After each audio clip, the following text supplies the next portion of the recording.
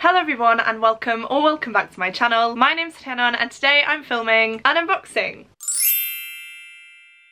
I believe that this is the adult book only box for March. Once again, don't remember the theme, so let's just dive in and see what we have, I guess. So as per usual, we have this paper on top and then, oh, we do actually have a spoiler card here. So the theme for this month is Rotten Opulence. Of course, as this is a book only option, we don't have all of the goodies, so we just have the book. And I am so excited to see what this is because I haven't seen spoilers, but I've heard people say that this is beautiful. So yeah, I'm very excited for it. Straight away we have really beautiful sprayed edges. So as you can see, we have a black sprayed edge, but then we have flowers stenciled in as well. I really love this colour scheme already, and I still don't know what the book is, to be completely honest with you. I know that this is upside down because I can see some text upside down just at the top here. So without further ado, let's see what this one is.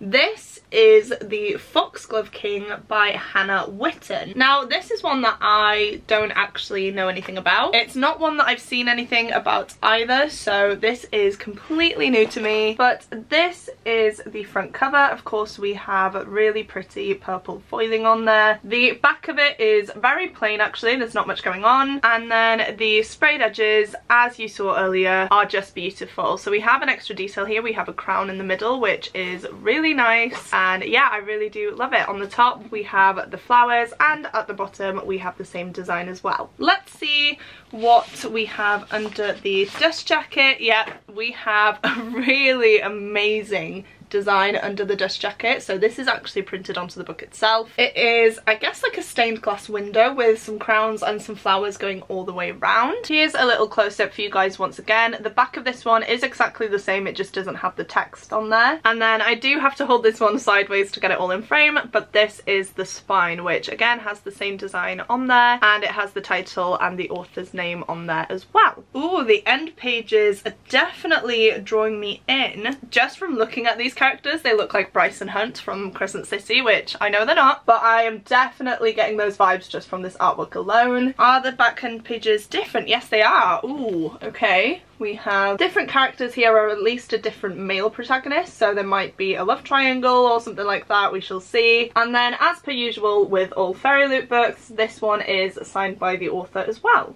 Oh, okay. Okay.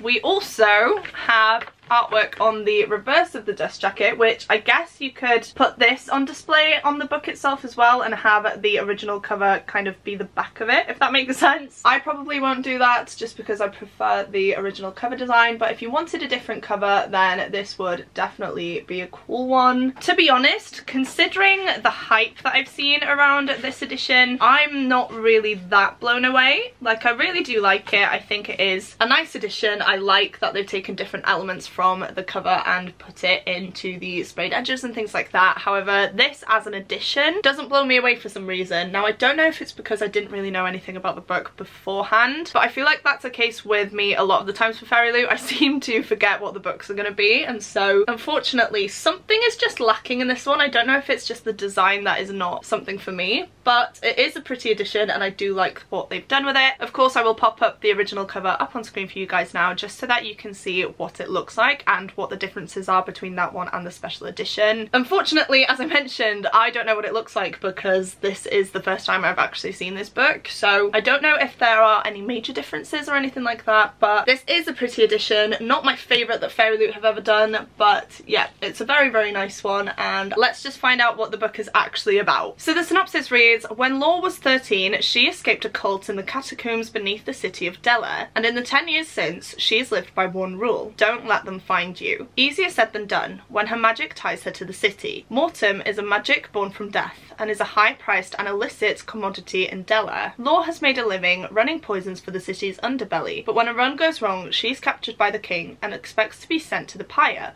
but the king has different plans. Lore is thrust into the sainted king's glittering court where no one can be believed and even fewer can be trusted. Guarded by Gabriel, a duke turned monk, and continually running up against Bastian, the king's ne'er-do-well heir, Lore tangles in politics, religion and forbidden romance as she attempts to navigate a debauched and opulent society. But the life she left behind in the catacombs is catching up with her, and even as Lore makes her way through the sainted court above, danger from below draws ever closer. That definitely has me intrigued now. I didn't know that this was a book about cults. I didn't really know anything about it to be honest, but that is an element that I am definitely interested in reading about. One of my favourite ever books is After the Fire by Will Hill, which focuses on cults. That is definitely more of a contemporary book rather than a fantasy book. However, as I mentioned, I just think it's such a fascinating thing. It's very scary actually that that is something that still happens, but I am very excited to see how it's done in this one. Of course, we have dark magic in here as well, which is definitely an element that I love in my fantasy books as well. So yeah, this is one that now I've read the synopsis, I'm definitely more interested in it. I know you shouldn't judge a book by its cover, however, just from the look of this one, it's not personally for me. So I'm glad that we read that together. I'm glad that I'm now definitely more interested in it and hopefully I can pick it up soon actually. I definitely need to make it a goal of mine to read a subscription box book per month because I am awful at putting these down and then never reading them. So I am going to try and do that for the next few months and hopefully that means I can get to this one soon. However, I don't know if you can see behind me on these shelves. No, they're just at the top there. I do have a shelf dedicated to those books and they're scattered about on my shelves behind me as well. So I do have a few that I need to get to. Whether I will prioritise this or not,